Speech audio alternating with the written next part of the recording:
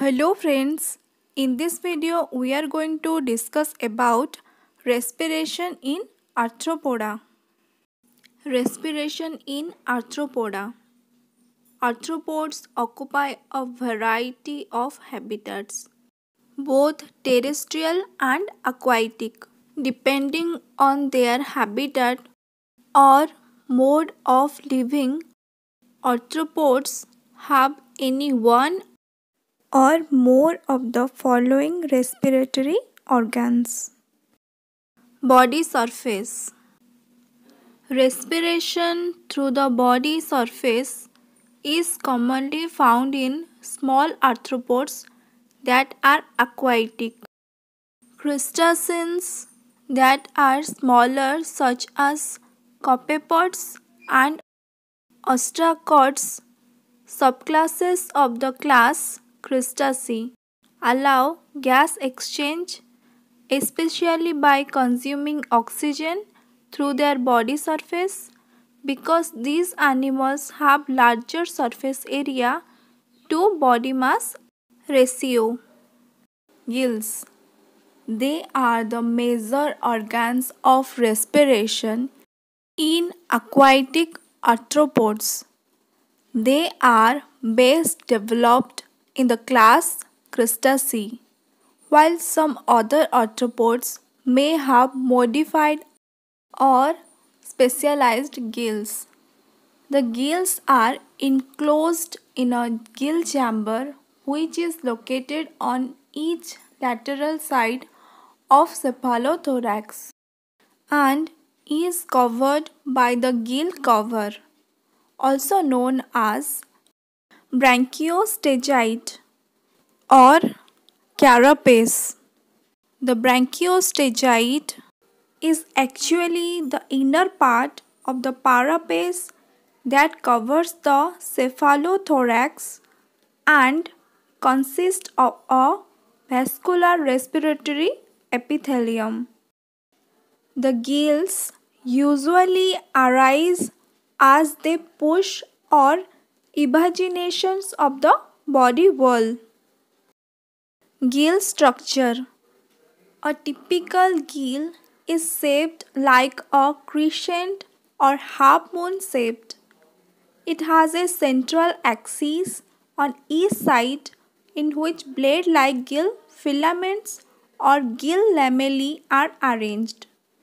Each gill filament having one end is attached to the axis while the other end is blind or free. Each gill filament is supplied by an afferent and efferent branching channel branches that run through the axis.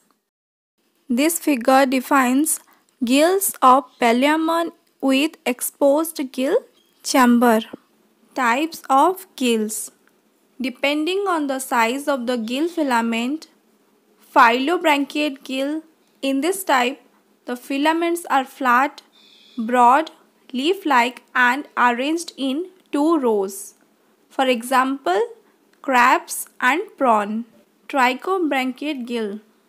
In this type, the filaments are tubular or tube-shaped. There is a central axis and several lateral filaments that formed from the sides of the body or form an outgrowth of the skin of the legs.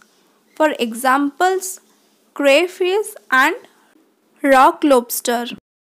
This is the figure that shows gills in decapod crustacea. Dendrobranchiate gill. In this type, the leaf-like septum is divided into fine branching filaments. For example, prawn. Depending on the method of attachment, podobranch, usually a pair of small gills attached to the coxa of the cephalothoracic appendages, that is the coxa of the maxillipeds.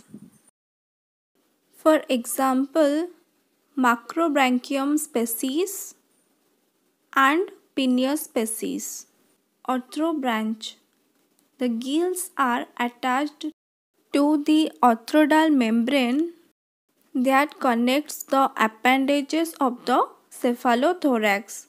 For example, Pinea species and Palaemon species.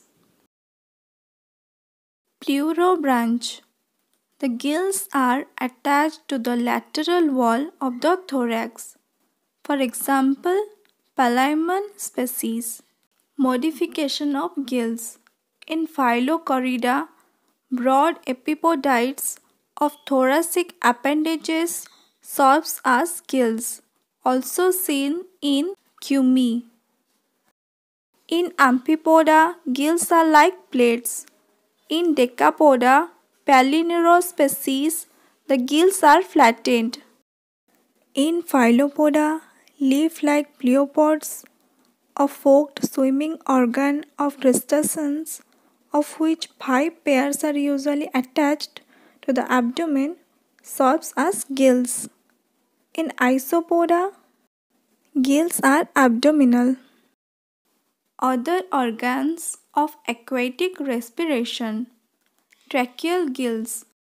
The aquatic larvae of many insects have a series of simple undivided external processes attached to the abdominal segments. These are richly supplied by the trachea and are called tracheal gills.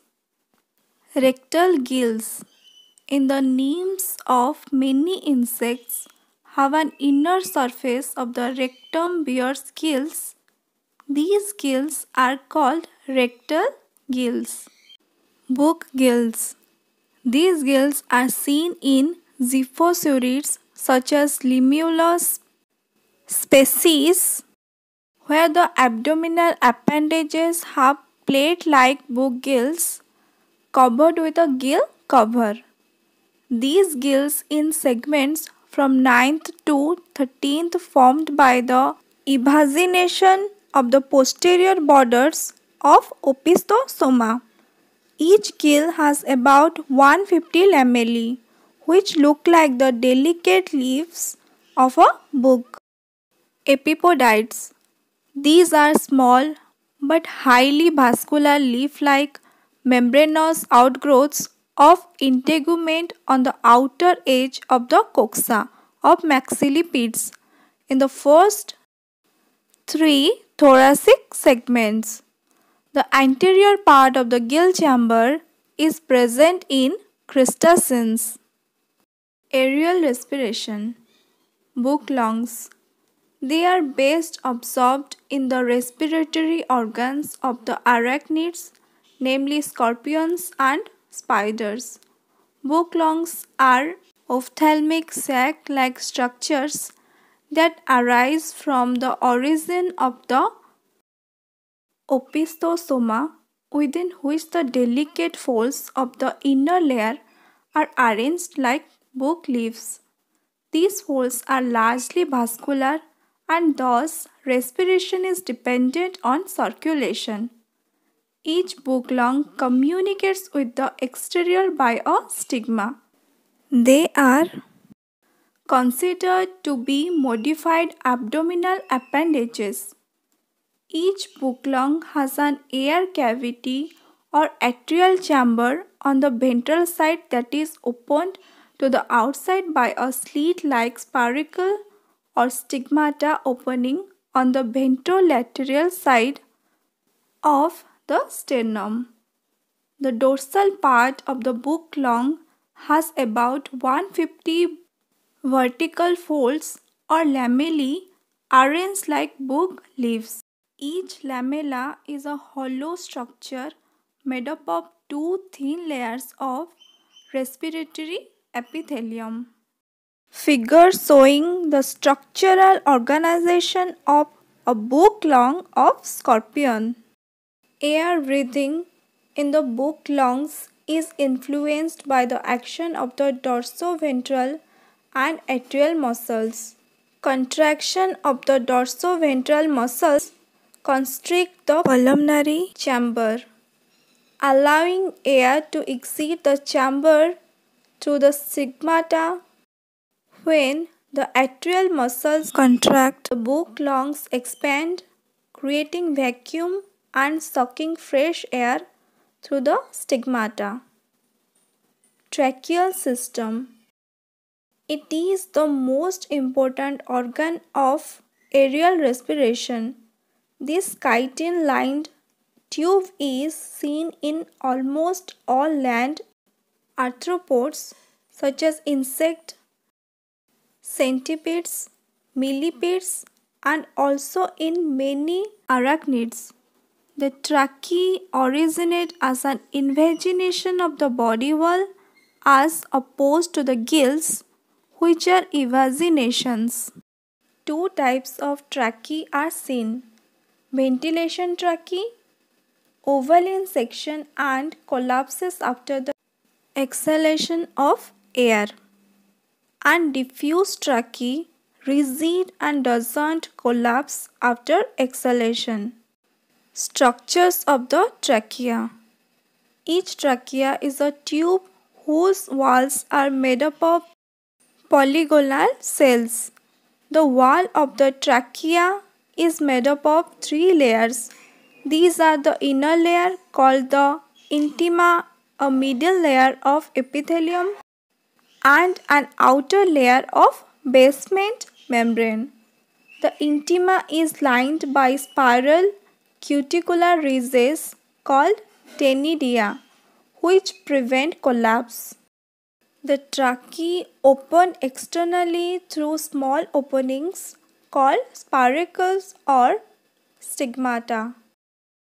These spiracles are located on the sides of the body each spiracle opens into chamber called an atrium and a spiracle placed on a plate called a penetrine. Each spiracle has two lids to open and close. Foreign particles within the chamber are eliminated by a filtering apparatus which consists of either special bundles or a type of sieve-like membrane some parts of the tracheae dilated to form the air sacs. They helps as a reservoir of air. The finer branches of the tracheae are called tracheoles, which are without internal duodenal ridges. A tracheole can be 1 mu in diameter and it reaches every cell of the body. Instead, they are lined by a protein called trachein and are usually filled with a fluid in which oxygen dissolves and diffuses into the tissues. The tracheal system delivers oxygen directly to the cells of the body and does not require blood to carry it. Insects generally have 10 pairs of spiracles 2 pairs of thorax and 8 pairs of abdominal. Breathing is influenced by paired pterosternal muscles that connect the dorsal side of the body to the ventral side and hence their contraction compresses the abdominal cavity, allowing air to move out. By relaxing these muscles, the abdominal cavity returns to its original size. Sucking air enters the tracheal tubes. This figure shows a typical tracheal system in an insect. This is the figure of tracheal system of respiration. Modification of the tracheal system in adult arthropods. Generally, two pairs of thoracic and eight pairs of abdominal spiracles are present in all adult insects. There are 12 pairs in the primitive state. In some forms, some spiracles may be absent secondary, but they appear at least in some stages of development. For example, queen termites have only 6 pairs of abdominal spiracles instead of 8 pairs, The metathoracic pair of spiracles is absent in order Lepidoptera, Hymenoptera, Coleoptera and some others. In millipedes, one pair of spiracles are present in each thoracic segment and two pairs of spiracles in each abdominal segment. Types of tracheal system in insect larvae. Based on functional spiracles, polypneumatic, the tracheal system is opened to the exterior by eight or more pairs of functional spiracles. These again can be subdivided into holopneustic when two pairs of thoracic and eight pairs of abdominal spiracles are active. This term is used when 10 pairs of functional spiracles are present. Peripneumatic a respiratory system consisting of one thoracic and eight abdominal spiracles are present on each side of the body. This term is denoted when there are abdominal spiracles on all segments of the abdomen. Hemipneustic respiratory system with one thoracic and seven abdominal spiracles are present on each side of the body. The term is used when one or more pairs of spiracles are non-functional. Oligopneustic In this type, one or two pairs of spirals are functional. It can be divided into the following three types. Amphipneumatic When one pair of thoracic and one pair of post-abdominal spiracles are present. For example, the larva of the common housefly. Metapneustic. Only one pair of post-abdominal spiracles is functional. For example, the larva of mosquito. Propneumatic only one pair of thoracic spiracles is functional. For example, the pupae of some Diptera. Apneumatic.